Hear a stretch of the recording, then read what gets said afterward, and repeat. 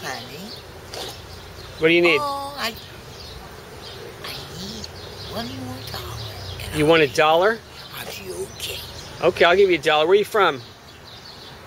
4613 Chester Avenue, Where are you from originally, though? Philly or somewhere else? South. Born and raised? You know what I do? I just found out I don't have a name. You're a trip, man. You're not from New Orleans, are you?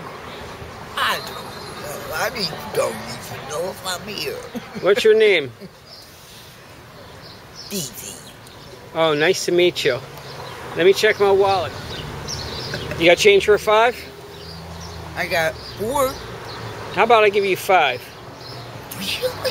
Yeah, what are you gonna do with my five dollars? Wow, what? Including food. That's good. The feed, and I won't have to stop and eat dinner out. That's good. What are you gonna get to eat?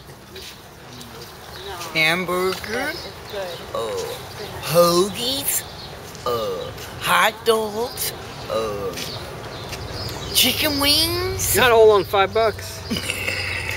one by one. No liquor though, right? No cigarettes? And cigarettes. too. Cigarettes are gonna cost a whole five bucks.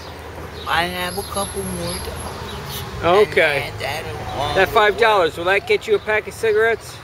Oh, when I have, and this will be enough. Okay. Be Okay. enough for everything. Thank you so much. What's your name again? Davey. Vivee, it's nice to meet you. Thank you. Take care. And you Chill out from West. Philly. I never gave nobody five bucks before. I don't think so either. Damn, you ever get five bucks recently? You're not going to sell me, are you? No, I'm out of here. You peace out.